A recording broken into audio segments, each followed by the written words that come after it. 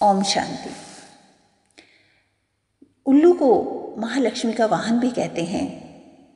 आज मैं आपको उल्लू के पंख का एक सिद्ध टोटका बताने जा रही हूँ।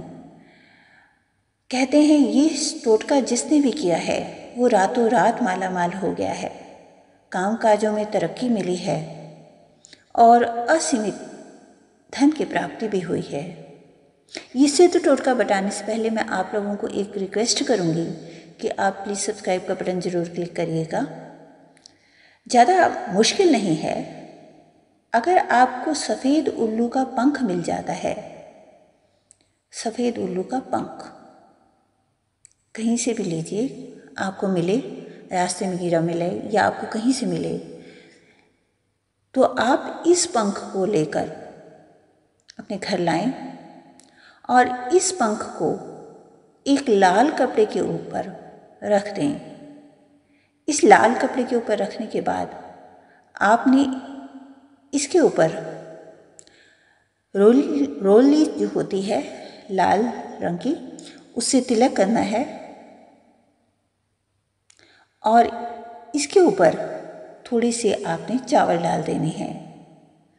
चावल, साबुत चावल का दाना हो, आपने वो डाल देना है। अब इसे रखकर आपने इसके ऊपर ग्यारह बार इस मंत्र को पढ़ना है। ओम श्री श्री महालक्ष्मी आय नमः।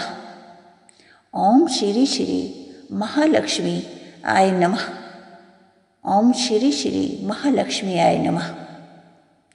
ग्यारह बार इस मंत्र को जब आप पढ़ लें तो आपने इस पंख के ऊपर हल्की सी फूक कर देनी है। जब आप इसे फूक कर देंगे, इसे दम मारना कहते हैं। इस तरह जब आप इस पंख को दम मार देंगे, अब इस पंख को आपने इस कपड़े को लपेट कर अपने पूजा वाले स्थान में, अपने धन वाले स्थान में इस पंख को समेट कर रख देना है।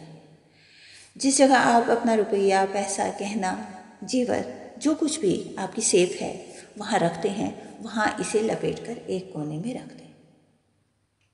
आप देखेंगे कि आपको जो धन की आ, आपका धन जो है वो बढ़ने लगेगा धन की प्राप्ति होनी शुरू हो जाएगी।